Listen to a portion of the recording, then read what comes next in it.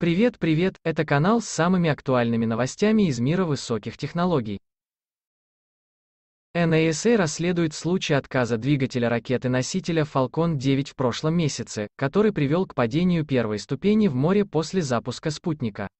Это важный вопрос ввиду подготовки американским агентством следующего полета экипажа на Международную космическую станцию в апреле. Патрик Т. Фалон, AFP, Jet Images, один из девяти двигателей Merlin ракеты Falcon 9 отключился 15 февраля во время подъема из-за образовавшейся дыры в крышке в верхней части двигателя, о чем заявил в понедельник на пресс-конференции NASA директор Спасека с попилотируемым космическим полетом Бен Джерит, Бен Джерит. Отверстие пропускало раскаленный газ в двигатель, который в результате отключился в соответствии с алгоритмом безопасности. Но это привело к тому, что ракета имела недостаточную тягу во время посадки, чтобы совершить успешную посадку на беспилотную баржу в Атлантическом океане. Неисправность двигателя не помешала ракете вывести на орбиту спутники Спасека Starlink. Господин Рид сказал, что защитная крышка двигателя была одним из самых старых компонентов на одной из многократно использованных ступеней Falcon 9, которые рассчитаны на полет до 10 раз без капитального ремонта.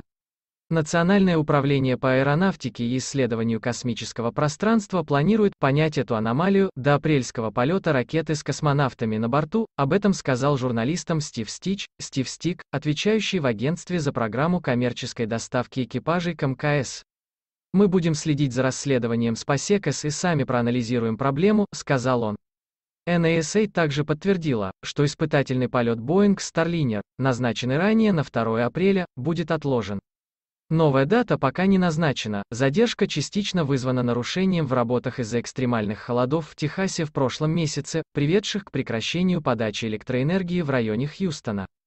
Первый испытательный полет Boeing с космонавтами на борту предварительно назначен на сентябрь.